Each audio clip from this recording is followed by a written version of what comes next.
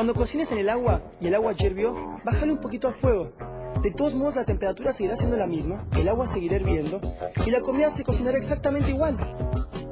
Mientras el agua hierve, su temperatura se mantiene constante. La diferencia entre agua líquida y vapor radica en que las moléculas de vapor están más separadas.